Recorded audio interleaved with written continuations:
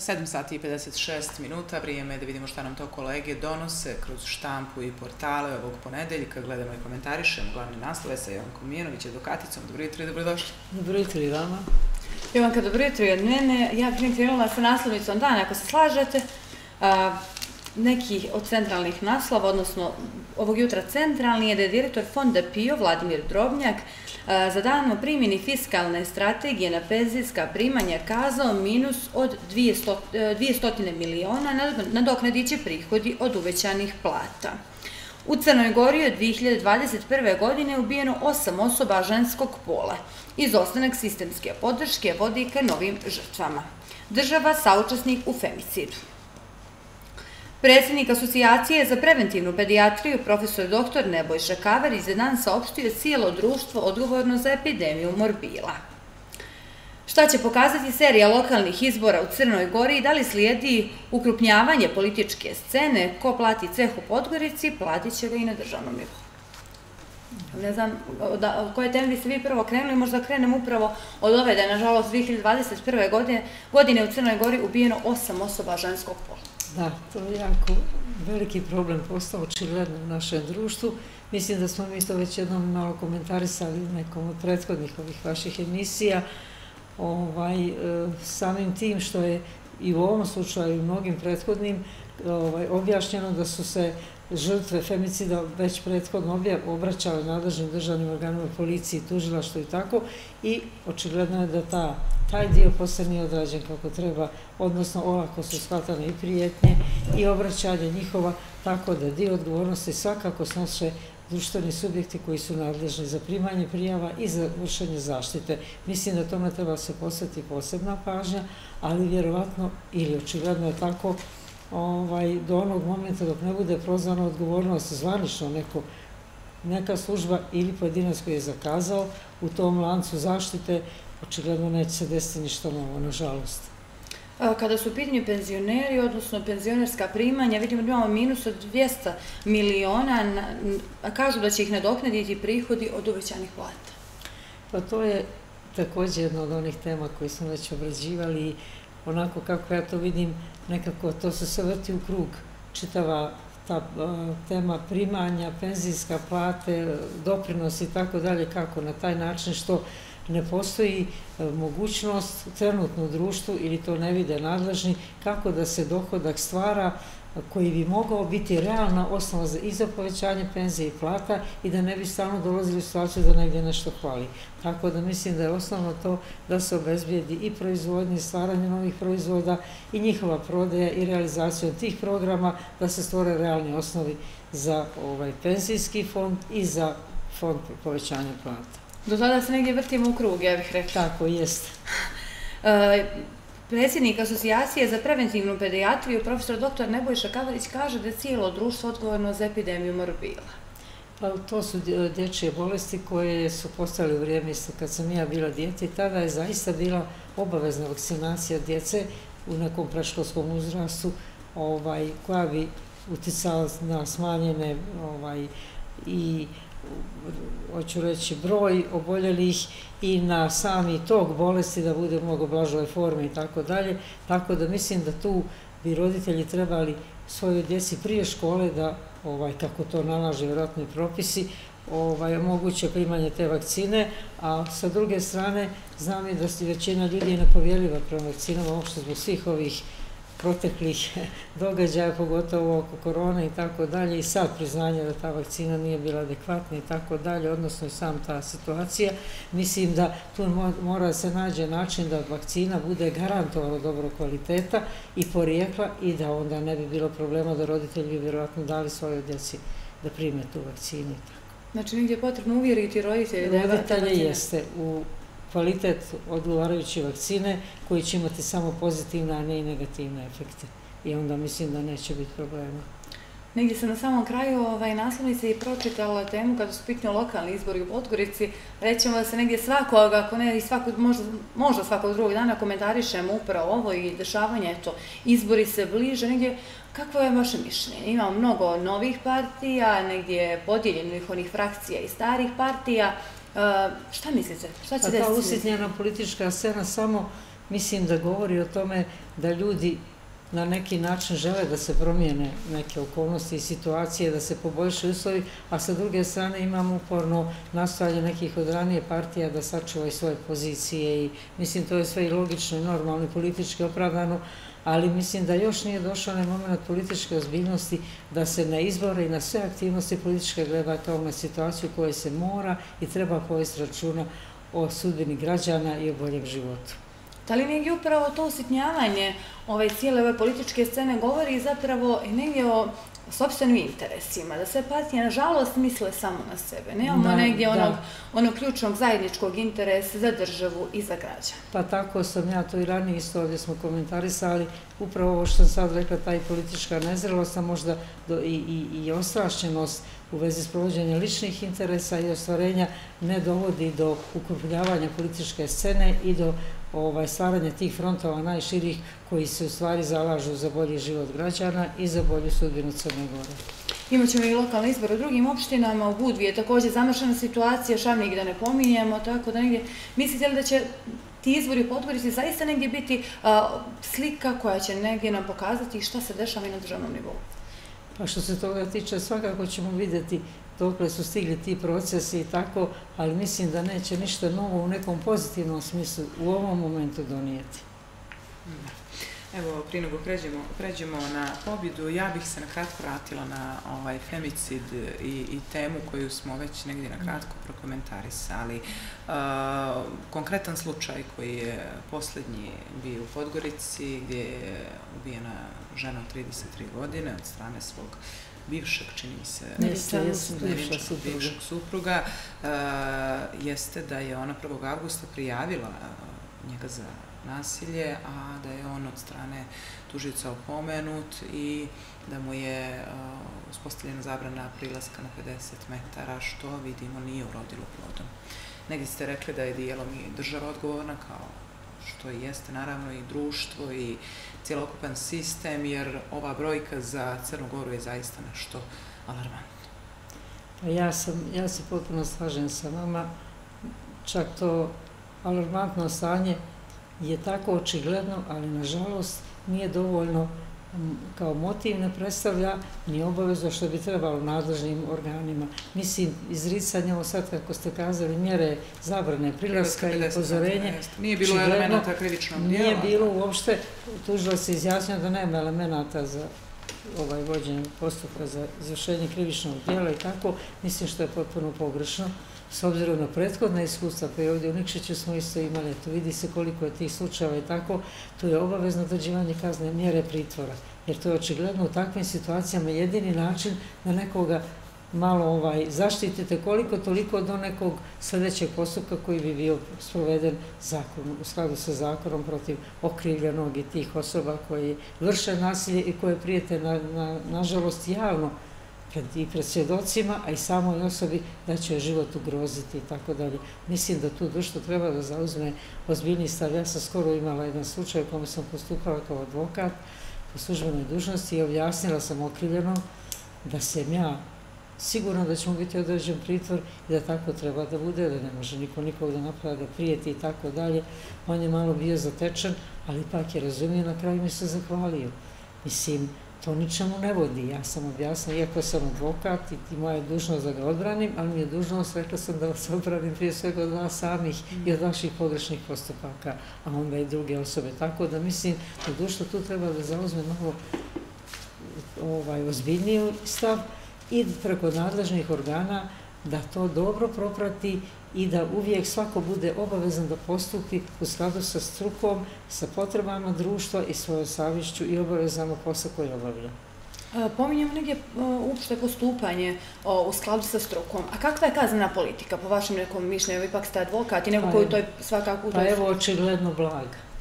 Očigledno neodgovarajuće. Mora malo da se pojača. Nažalost, u nekim ranijim vremenima, možda i drugim nekim sistemima i te same mjere opomene i mjere se jako poštuju. Ali, očigledno, kod nas još nije došlo do toga i mora se onda postupati sa tom najtežom mjerom izricanje pritvora, zadržavanje i tako dalje. Evo da idemo u pobjedi e, što imamo danas problematičan put do cilja. Blokada sa obraćajnica, sve češći vid građanskih protesta, turistički posljednici kažu da se time nanosi šteta sezoni, a pravnici da se na taj način ugrožavaju slobode kretanja i bezbijednost. Građani da se bore za svoja prava, ali ne na štetu drugih. Evo konkretno fotografije iz ispred Budoša iz Nikšića, nakon što je Bošnjačka stranka postala dio većine opozicije u skupšinskom tijelu koje se bavi izbornim zakonodavstvom, ima člana manje. Zirojević kaže, odbor ne treba rekonstruisati nakon e, pardon, ne treba restrukturirati nakon ulazka Bošnjačke stranke u vlast. Aleksandar Popov, direktor Centra za regionalizam u Novom Sadu, izbori u glavnom gradu pokazat će kojim pravcem će nastaviti Crna Gora. Pobjeda istražuje ko je dozvolio da se otpad iz nekadašnjeg brodgradilišta u Biloj tajno zakopava širom države umjesto da bude izvezen kako je predviđeno projektom koji finansira Svjetska banka. Izvoz grita, ekološki projekat ili prevara vijeka. I direktor Kotorske bolnice za psihijatriju Aleksandar Mačić kaže da rade u teškim uslovima u Dobroti i šest pacijenata iz UX. Direktor Uprave za bezbjednost hrane Vladimir Đaković pozvao građane da kupuju proizvode domaćih proizvođača. Crna Gora godišnje baci 50.000 tona hrane interesantni su nam negdje ovi naslovi u pobjedi i, i dobri, možemo tako slobodno reći. Imamo problem sa gritom koji danima... Da, očigledno da je to jedan gorući, kako tako reći, problem. Međutim, još uvijek nema najava kako da se riješi i kako će država postupiti. Mislim da treba u tom smislu budu neprikosnoveni i u svojoj ostvarenju prava i obaveze zaštite ekološke države i prije svega osnovnih uslova za život građana koji se nalaze u neposrednoj blizini mjesta gdje se odlaže taj otpad koji je štetan, a i samim tim i ovaj, čim nije prirodno okruženje ne predstavlja, nego dodatno, da znači na svaki način je ovaj postupljeno suprotno i zakonu i interesima građana. E sada turistički poslenici kažu da se blokadom puta i ovakvim načinom protesta nanosi šteta sezoni, pravnici da se na taj način ugrožava sloboda kretanja i bezbijednost, a građani očigledno nemaju drugi način da se izbore da. sa ovim a e, poslanici, nažalost, treba da budu predstavnici volje građana i oni koji će uvijek pokrenuti da se dođe do rešenja određenog problema, ali oni iz poslaničkih klupa sa dobrim platama i tako dalje, zaštićeni položajem, vjerovatno ne vide tako svoju obavezu. Ovaj, nažalost, i tako da građani nemaju drugi način, vjerovatno da upozore i da ta uspavane poslanike natjeraju da nađu načina preko određenih službi i organa i nadležnih institucija za rešenje njihovih pitanja. Logično bi sasvim bilo da postoje komisije koje se bave i razgovorima sa predstavnicima tih građana i ovaj u vezi sa sagledavanjem problema i mogućnoću načinu rešavanja. Da li je zapravo pravo rešenje? Sad će na ulicu protestovati za svaki problem koji imamo, s obzirom da je turistička sezona u jeku, a Crna Gora prepoznata kao zemlja koja nažalost živi samo od turizma. Pa znate šta, sad upravo smo to malo i, i prokomentarisali, ja sam je govorila sve treba preko institucija rešavati. Ali ako su institucije gluve i nijeme na sve to, onda je to nekako jedini način uz učešće možda još nekih drugih momenta koje nijesu baš opravdani u svakom momentu i možda nekih političkih ovaj, način da se neke druge stvari pokažu negativno u odnosu na ono što je nekad bilo i tako, sve to ima svoje, ali sve u svemu mislim da država preko svog sistema treba i taj problem da riješi, da ne bi dolazilo do protesta na ovaj način i da se ugrožava i sezona i, i na kraju kreva ljudi koji putuju drugim ovaj obavezama, gube i vrijeme i tako dalje, sve to, ali eto. Evo, interesantna informacija i prije nego pređemo na vijesti da Crna Gora godišnje baci 50.000 tona hrane i poziv direktora Uprave za bezbijednost gospodina Đakovića da građani Crne Gore kupuju domaće proizvode, odnosno proizvode domaćih proizvođača. Pa ja se slažem sa tim. Mislim, uvijek smo, jednom smo i ovdje čini se malo ovako šire govorili o tome da Crna Gora ima mogućnosti da hrani svoje građane i to zdravom hranom i onim porijeklom hrane koje mi svi znamo i tako dalje. Osim toga, ti ljudi koji se bave proizvodnjom bili bi koriste toga i bili bi zadovoljni i motivisani. Ali negdje još ranije počele su te ovaj nasljeđa iz nekih drugih zemalja, negativna naravno, da se uvozi hrana po cijenu da ostane naše i neprodati, da se uništi i da ne bude niti iskorišćena ni u jednom ni u drugom smislu ovom sad kome smo navali. Tako da mislim da tu država treba posebno se pozabavi i mislim da tu hranu etiketira sa posebnim ovaj obilježima da bi svi ljudi znali da je to naše i sad da je s ovih prostora i da da posebni način reklame, tako da kažem, i marketinga za te proizvode, a da se ovi proizvode koji se uvoze i koji su vrlo često sumnjivog kvaliteta i već nekih isteklih roka trajanja sa promjenjenim etiketama i tako dalje, ostanu neprodati i neiskorišćeni. U drugom planu svakako, eto, da vidimo. Da pređemo na vijesti, imamo dosta zanimljivih naslova, nijesu negdje kompatibilni ovim u drugim medijima, pa jedan svakako zabrinjavajući je tragičan bilans na crnogorskim cestama. Tri života izgubljeno 24 sata. U pauzama odavanja službenih tajni i dogovora o švercu kokaine, Petar Lazović se šefu kavačkog klana hvalio kako krivolovi. Srnu u glavu, brate, riječ je o zakonom zaštićenoj divljači, za čije ubistvo je predviđena kazna od šest mjeseci do pet godina zatvora. Milatović između Milanovića i Makrona u politici dobar tajming je sve prerano izgubio strpljenje. Vede direktor Agencije za izgradnju i razvoj Podgorice Dragan Senić za vijesti kaže da će utvrditi osnov po kojem su dijeljene nekretnine, stanovi i poslovni prostori pod lupom. Lenski rast plata diže cijenu vode. Potrebno više stotina miliona eura kako bi se vodovodna i kanalizacijona mreža dovelo prihvatljivo stanje. Reagovanje branilaca prvog čovjeka Budve, kome treba da je Božović nezakonito u pritvoru i ponovo tema aktualnih izbora u Podgorici. Nosilac liste pokrata naprijed, Vukadi za vijesti kaže zloupotrebljevači vlasti neće nam biti partneri, na izbor idemo sami jer ulazkom u koaliciju dostajete u startu od dijela onoga u što vjerujete. Ja ne znam šta je možda najzanimljivije od čega da gre možda. Najproblematičnije je ovo na cestama. Tri života izguljenog za 24 sata i ovo je tema, pored femicida o kojoj govorimo mjesecima, godinama, ali pogotovo kada su turističke sezone. Jeste, ove godine mislim da je posebno veliki broj ovaj, tih smrtnih slučajeva u saobraćaju. Pogotovo mladih života. Komentarisali smo jednom, čini mi se ovdje već oko toga. Ovaj, mislim da je veliki broj automobila prije svega na ulicama, onda veliki broj mladih, pa čak i oni koji nemaju položen vozački ispit isto vod sa, u vožnji. Osim toga, uopšte mislim da se ne poštuju ovi saobraćajni propisi, ograničenja brzine, zabrana preticanja na mjestima gdje to nije moguće bezbjedno učiniti i tako dalje.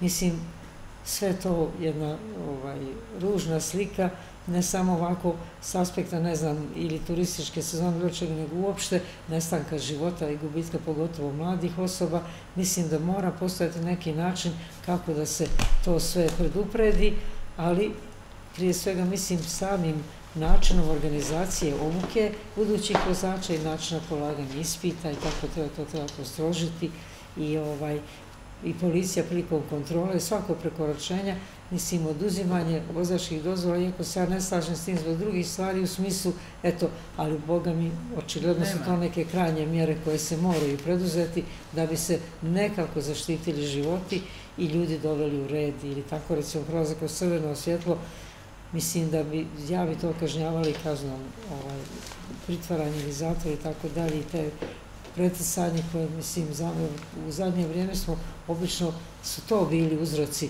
ovih teških udesa sa smrtnim posljedicama, prekoručenje brzine i preticanje na mjestima gdje to nije moguće bezbjedno učiniti. Tako da tu malo mora da se poštri kaznena politika. Ne, i dolazimo do zaključka da je u svim sferama zapravo jako važna ta kaznena politika. Jeste, na to ne, nažalost, jedino reagujemo. Nažalost, jer u, u vremenu nekom koje ja drugačije pamtim, ovaj, ta vaspitna i, i, i politika koja mogu da predupredi sve to bila je jako uspješna a sad se sve svodi na kazanu politiku, ljude ili kaznite novčano ili zatvorom, oni su odmah drugačije ponašaju nego da ih upozorite i da im objasnite i da sami iz posljedica koje se gledaju i nešto zaključe, nažalost.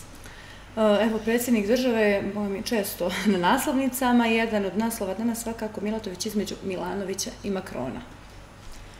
Pa pravo da vam kažem, nekako i kao građanin i kao neko ko dugo ovaj, ima svog godina života priliku da se gledava sve te odnose i međudržavne, diplomatske i tako dalje, koji, a kako koji se reflektuju na unutrašnje odnose i uopšte na status države, nekako sam nezadovoljna što naši ovaj, čelnici već od ranije praktikuju da se e, mnogo povode za time šta drugi misle i kako oni praktično nekad i narede da se uradi, kaže, izjavi i tako dalje. Mislim da prije svega vođenje u interesu svoje države, o sobstvenim navikama, istorijatu, našim osobinama i u svakom smislu treba da predstavlja osnov za njihovo postupanje i za njihove stavove i političke i diplomatske. Tako da mislim da, da nema potrebe da se stalno baziremo i slušamo šta će reći ovaj državnik ili onaj.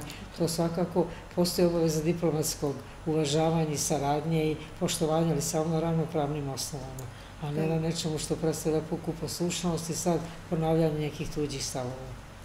Evo ja ću se na kratko za, za kraj e, današnjeg druženja osvrnuti na još jedan naslov koji sam prije pročitala ukratko e, pobjedi direktor Kotorske bolnice za psihijatriju Aleksandra Mačić kaže da rade u teškim uslovima i proteklih dana sve provlačila da. E, Kotorska bolnica za psihijatriju kroz medije, kroz štampu u nekom ne baš dobrom kontekstu. U Dobroti šest pacijenata iz UX-a. U bolnici za psihijatriju Dobrota borave tri osobe po pravosnažnim presudama koje je uz kaznu zatvora izrečena i mjera bezbijednosti obavezno psihijatrijsko liječenje i čuvanje u zdravstvenoj ustanovi, kao i tri osobe koje su upućene na konzilijarni pregled u ovu ustanovu od ordinirajućeg psihijatra UX-a saopštili su iz UX-a. Pa to je jedina psihijatrijska ustanova takvog ovaj, karaktera u Crnoj Gori i mislim da odavno država treba da uradi na proširenju kapaciteta da bi se moglo upodobiti potrebama o kojima vi sad govorite, da se odvoje oni bolesnici ovaj, eh, koji se liječe od onih koji su opasni, koji su zakonom već označeni kao izvršioci teških krivičnih dijela napada. Skoro smo čitali novinama izvesni ne znam kako se prezio, nije ni u redu sada prozivam, je nožem povrijedio dva puta zaredom u roku od tri dana, dva bolesnika tamo koji se liječe nožem i tako dalje. Mislim kako je došao do tog nože i sve to znači da država i društvo moraju da obezbijede uslove ti ljudi koji su osuđeni na kazne zatvora uz obavezu liječenja moraju biti u posebnim uslovima zadržani i tamo liječeni i pod posebnim nadzorom, naravno zato što su opasni i za razliku od ovih ostalih koji sa svojim terapijama mogu i bez toga, tako da mislim da to treba bude poseban problem da se riješe na adekvatan način i sigurno sam da uslovi sredstva za to uvijek postoje. Evo su teme kojima se treba baviti i o kojima na, na visokom nivou treba zaista jeste, govoriti. Jeste, jer tu ima i posebno dolenje liječenja od narkomanije, bolesti, zavisnosti i tako dalje, a to su osobe koje zahtjevi posebne uslove i sve to ovaj, mora biti klasifikovano, doktori tamo izvredno rade, da tako igram slučaja ih i znam, no, većinu od njih tako i trude se i sami iznalaze neke načine kako da tamo stvore uslove i prostor i država to obavezno mora da, da uradi. Izdajemo sredstva za mnoge, eto reću, iskoristi se, kažem, jeste. nebitnije stvari, ovo je svakako gorući problem. Stvarno jeste, to je gorući problem. Eto. Hvala vam, gospođo Mijanović, što ste i ovog jutro bili uz ekipu Eternik programa. Hvala vama na pozivu, uvijek mi je drago da se sa vama družim. Također.